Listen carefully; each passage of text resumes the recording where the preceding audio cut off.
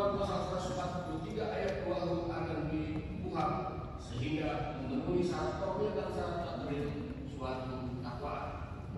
Jadi bapak-bapak yang kami surat dalam untuk mempengaruhi memenuhi syarat formil dan syarat materi suatu dakwaan, maka gerakan penasihat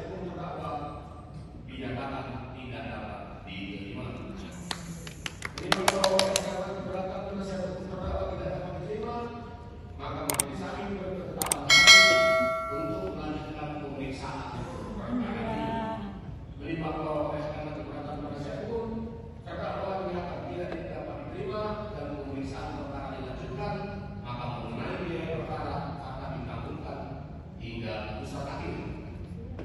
Perhatikan pasal 156 Undang-Undang Nomor 8 Tahun 1981 tentang kuhap dan peraturan perundangan lainnya yang berkaitan. Mengadili satu menyatakan keberatan penasihat terdakwa tidak dapat ya supaya kalian juga bisa melihat mempersiapkan pertanyaan-pertanyaan kepada saksi. Baik ya, sidang selesai dan ditutup. Terima kasih.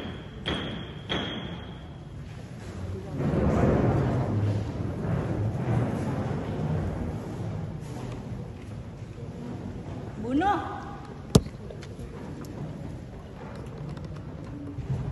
Eh pembunuh.